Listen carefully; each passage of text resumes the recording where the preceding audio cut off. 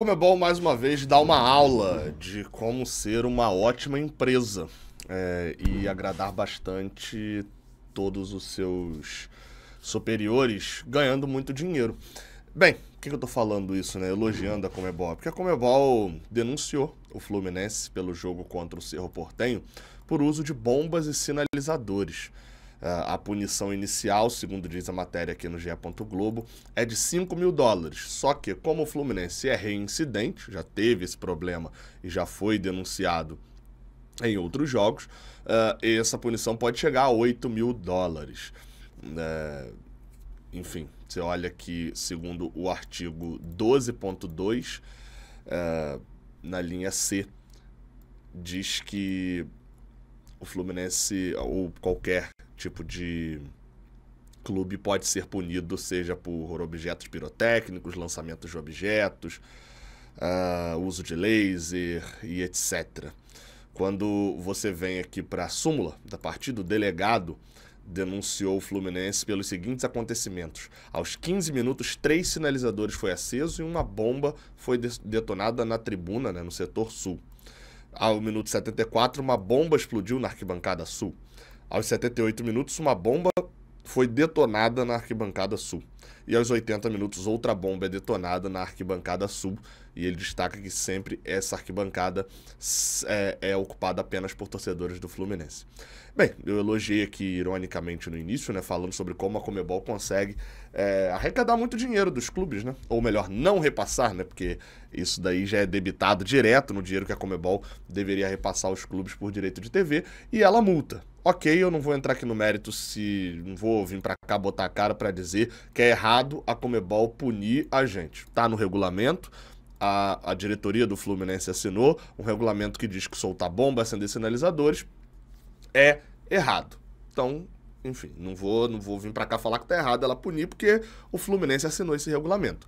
Dito isso, é, é bom a gente deixar claro que racismo para Comebol vale menos, ou melhor, não vale nada. O combate ao racismo vale menos do que um sinalizador. É isso. Seguem sem punições é, por racismo. Tá? Zero. Zero punições por racismo, jogos do Fluminense a gente teve esse problema muito claro lá no Chile e nem uma nota, nem um alô, nem um eu tô de olho, nada. E aí a gente é obrigado a ver o presidente da FIFA lá falar: ah, nossa, agora tem um protocolo, você faz assim com a mão, faz um jutsu do Naruto e tal, e todos vão entender que você tá falando de racismo. Às vezes tá claro, tá ali, ó, o vídeo tá na cara. E ninguém faz nada. Então, enfim, né? Vamos falar do jogo de quarta-feira, Fluminense Sampaio Correia. É... Fernando Diniz deve mesclar titulares e reservas. Isso é uma informação ali do José Ilan, jornalista que cobre o Fluminense. Fernando Diniz deve fazer essa mescla. É, é, enfim, jogadores que estão voltando de lesão, jogadores que não tiveram tanta oportunidade, como Thiago Santos e Gabriel Pires podem uh, ser titulares, né? Poder sempre podem, né? Mas ele afirma ali de que são é, de que tem essa probabilidade bem alta. Marlon também pode ao menos ser relacionado para o jogo, pintar no banco de reservas e pintarem ali uh, jogadores que estão hoje no banco de reservas e que normalmente não têm tido tantas chances. Eu abri aqui o GE. Globo para a gente escalar o que seria o time de reservas do Fluminense hoje, né? Para se vão dizer que o Fernando Diniz queria poupar todo mundo, provavelmente ele iria com o Felipe Alves. Na lateral direita, eu, eu chutaria que o Guga poderia atuar, né? Ele não vem sendo titular na lateral direita com constância, né? Não tem por que poupar o Guga nesse momento, ele quer mais é jogar mesmo. A zaga seria Felipe Andrade, Manuel tá lesionado, Felipe Melo. Seria Felipe Andrade e Antônio Carlos, vá lá, mas com o retorno do Thiago Santos, se o Thiago Santos tiver condição desde o início de jogo, eu iria com Felipe Andrade e Thiago Santos, considerando que o Antônio Carlos seria titular ao lado do Felipe Melo. Né? Mas vamos lá, a gente não tem certeza do Thiago Santos, então vamos aqui com o Antônio Carlos. Na lateral esquerda, mais do que óbvio, o Diogo Barbosa. Né? É, no meio de campo, eles aqui. Ah, eles permitem uma alteração aqui. É, 4-3-3, né? Vamos. De 4-3-3 a gente teria dois volantes. Alexander dá para ser chamado de reserva? Dá, né? Mas sem o André seria Alexander, Martinelli e Lima, esses três aí. O Alexander não tá numa hora de ser poupado, acho que esse é o fato. Lima e, e, e Martinelli, sim. É, Gabriel Pires não volta como titular, né? Difícil, hein? Achar o resto desse meio de campo aqui, hein? Só se não poupar o Lima. Vamos botar, fingir que o Gabriel Pires volta, né? Acho que é mais fácil. A gente finge que o Gabriel Pires volta. E o outro meio-campista sem Renato Augusto. Lembrando, Renato Augusto é lesionado. O Ganso estaria voltando agora. Ele jogou a última partida, né? Não jogou a última partida do Brasileirão. É, cara, complicado para escalar esse time, hein? Deixa eu adiantar pro ataque aqui. A gente teria o Cauã Elias, inclusive vou falar já já do Cauã Elias aqui. Uh, Douglas Costa tá lesionado, o Cano seria poupado. Tem Isaac e Keno Marquinhos seria poupado, vai lá. Ou seria Isaac e Keno, ou se ele quiser poupar o Keno também, considerar, aí seria o John Kennedy. Mas acho que o Keno também não tá numa hora de ser poupado, né? Tá querendo mais ritmo de jogo. E essa outra vaga do meio de campo aqui. Tem 4-2-4 aqui? Não tem, né? Não tem um 4-2-4 aqui. Nem eles dão a opção de botar um 4-2-4. Então eu iria aqui no meio de campo, acho que vai sobrar. Vai sobrar pro Lima mais uma vez. Acho que se ele for escalar o time totalmente reserva, seria esse time aí que tá aí na tela. Felipe Alves, Guga, Felipe Andrade, Antônio Carlos e Diogo Barbosa, Alexander, Gabriel Pires e Lima, Isaac, Cauã Elias e Keno. Mas assim, nem o Gabriel Pires a gente tem muita certeza, né? Acho que se não tiver o Gabriel Pires, provavelmente aqui seria o Terãs, ah lá, é, talvez esse aqui, desconsiderando Gabriel Pires e Thiago Santos, que ainda são incerteza, daqui seria um time mais próximo da realidade. É, o Cauã Elias, eu falei que ia falar já já dele, ele postou uma foto nas suas redes sociais, agora há pouco, inclusive, na, na hora do almoço, deixa eu dar uma atualizadazinha aqui, uh, postou ali uma foto nas suas redes sociais colocando quarta é dia. É, não sei se isso indicaria ali uma provável titularidade na quarta-feira, né? Sendo poupado o Germancano. No caso específico, assim, só pra galera falar, pô, mas tá muito cedo. O jogador normalmente já sabe bem antes quando ele vai jogar, tá?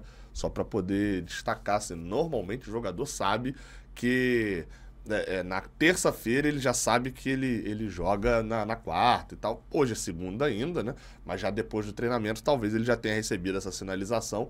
É, o Cauã Elias seria titular. Cauã Elias hoje está na frente do John Kennedy para vocês? Para vocês, ele está na frente do John Kennedy?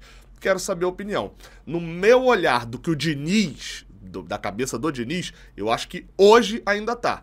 Porque o Cauã Elias voltou da punição antes do John Kennedy, né? Enfim, então já teve ele esse tempo e tal, de reflexão e etc. E ainda tem um outro fator sobre essa situação o Elias John Kennedy. É o fato, principalmente, de que o jogador atuou melhor do que o John Kennedy.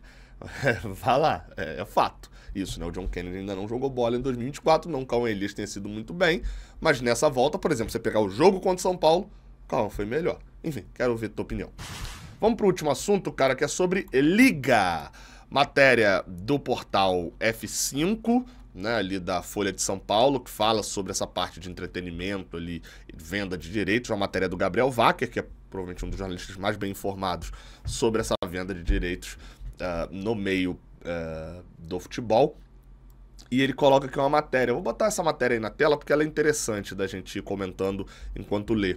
Diz aqui, ó. Globo, SBT, Record e YouTube fazem propostas à Liga Forte União por jogos do Brasileirão em 2025. Três maiores redes nacionais de televisão e plataforma gratuita de vídeos desejam partidas do chamado pacote aberto, que pretende abrir rodadas do maior torneio nacional de futebol.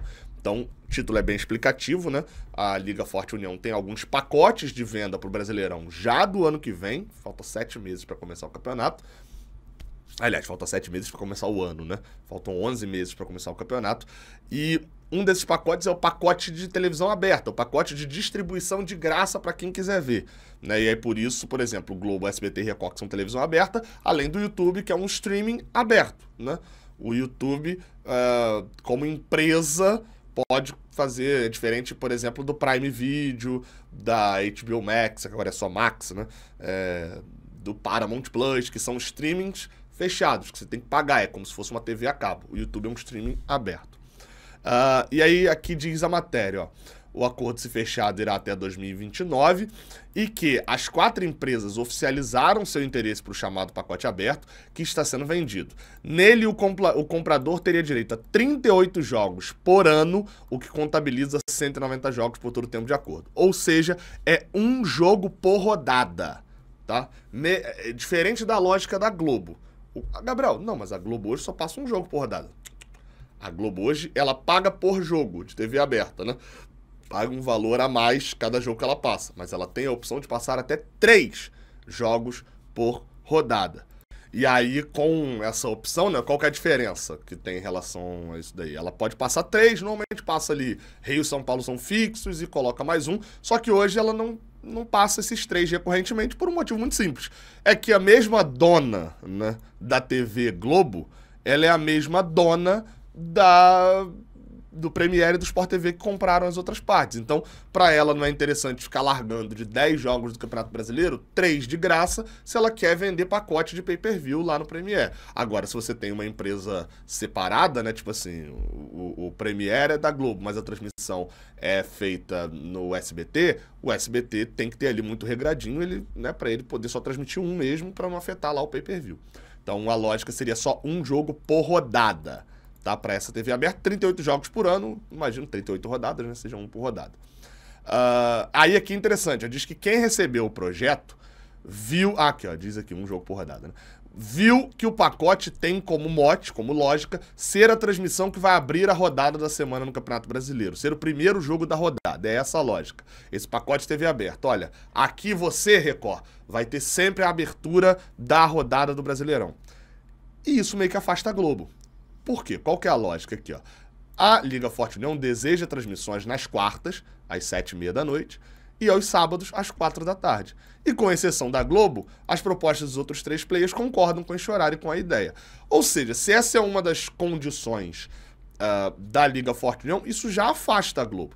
Porque a gente sabe, a grade de horários da Globo é uma, quase uma instituição no Brasil. É, eu tenho a grade, de quando eu assistia mais TV aberta, né, eu tenho a grade de horários ali decorada. Vai ter ali Bom Dia Rio, né? Eu não, não, tinha Bom Dia Rio na minha cidade, mas enfim, né? Que não pegava, né? Bom Dia Rio, Bom Dia Brasil, Ana Maria Braga, aí vinha TV Globinho, hoje em dia tem um encontro lá.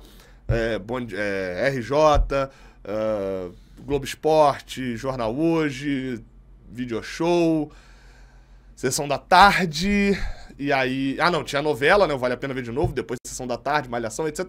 Então, isso, isso é uma, quase uma instituição no Brasil, a grade. A Globo não fica mudando a grade todo dia. É, ah, muda aqui, não, bota. A Globo não vai tirar o Jornal Nacional e a novela das sete para poder botar um jogo do Brasileirão às quartas-feiras, sete e meia da noite. Isso é uma. Tanto que a Globo não fez essa proposta. Ou seja, ou a Globo vai pagar mais para não ter essa condição, ou então. Lembrando que a Globo já comprou o pacote da Libra, né? Do outro grupo. Aqui diz que nos bastidores as negociações são definidas como avançadas e quentes quentes. Nos próximos dias deve ter avanço de quem vai transmitir essa, essa partida no pacote de TV aberta. E aí diz que além do pacote de TV aberta, tem outros dois pacotes para plataformas pagas. E aí diz que dois gigantes internacionais, segundo a Folha, têm interesse de entrar no mercado de mídia esportiva com o Brasileirão. Ou seja, pode vir gente de fora para fazer essa compra. Dois pacotes de plataformas pagas, vai lá, a Liga Forte União não tem garantia de quantos jogos eles têm por rodada mas no geral ali devem ter pelo menos entre 4 e 7 jogos por rodada. Daria para ter um streaming que tem todos os jogos, né? Tem ali todos os jogos do Brasileirão da Liga Forte União, e aí você paga como se fosse um pay-per-view, você paga e tem direito a todos os jogos. E um outro streaming ali também queira transmitir duas partidas, tal como é o Campeonato Paulista e a lógica da Live Mode, que é quem está fazendo essa negociação. Uh, aí diz que. Ah, isso aqui é importante, que a Liga Forte União promete gerar todas as imagens e fazer pré e pós-jogo das suas transmissões. Isso é muito importante, porque, a, a, por exemplo, que eu vou explicar para vocês entenderem legal. Quando tem uma transmissão de campeonato brasileiro, por exemplo, a, a Globo faz a captação da imagem. Ela comprou os direitos dos clubes e ela faz a captação da imagem, a câmera e etc. Quando tem o campeonato carioca, tem a venda, a Record faz essa captação, a Brax já, já tem um acordo com a Record, a captação e tal das imagens. Isso barateia porque vão ser, vamos, vamos lá, imaginar aqui, tá? A Record comprou o pacote TV aberta, o Prime Video comprou o pacote TV fechada e chegou um novo streaming Brasileirão Play e comprou todos lá no pay-per-view. Não vão precisar ser três câmeras diferentes lá para fazer uma transmissão de um jogo que vai estar tá passando em dois lugares ao mesmo tempo. A própria liga já vai fazer a captação das imagens, como é a Libertadores. A própria Comebol faz toda a captação das imagens, o ângulo de câmera e etc, a qualidade disso tudo, e a equipe que vai transmitir, seja a ESPN Argentina, seja o Paramount, a Globo, só já recebe as imagens e só coloca seu áudio ali da transmissão. Então, isso hum, dá um ar mais de profissionalismo. É assim nas principais competições do mundo, né? Nas Olimpíadas funciona assim, na Copa do Mundo funciona assim, no Mundial funciona assim, na Fórmula 1 funciona assim. Então, enfim. E o outro ponto aqui que diz, né, dos times, destaca que os times que estão na liga junto com o Fluminense, né? Eu acabei não falando, mas o Fluminense faz parte dessa liga, por isso que isso é assunto aqui.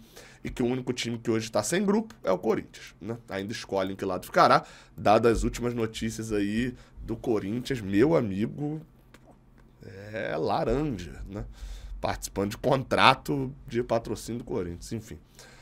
É isso, tá? Tamo junto. Hoje tem live presencial lá no Parque Shopping Jacarepaguá no Jornada KTO 1902. Tamo junto, até a próxima. Valeu!